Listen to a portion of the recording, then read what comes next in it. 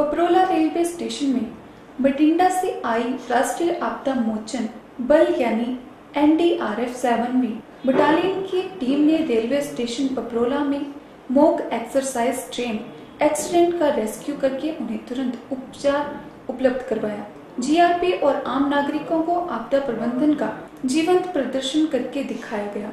NDRF के जवानों ने आपदा से पहले आपदा के दौरान और आपदा में रेस्क्यू के तरीकों को उदाहरण सहित बताया। बैजनाथ के स्थानीय एसडीएम रामेश्वर दास की उपस्थिति में मॉक ड्रिल का आयोजन किया गया, जिसमें रेलवे विभाग फायर ब्रिगेड विभाग, स्थानीय पुलिस व रेलवे पुलिस, अस्पताल के डॉक्टर तथा इसके अलावा अन्य अधिकारी मौजूद रहे। करीब दो घंटे तक चले कार्यक्रम के दौरान एनडीआरएफ ने लोगों की शंकाओं का समाधान भी किया।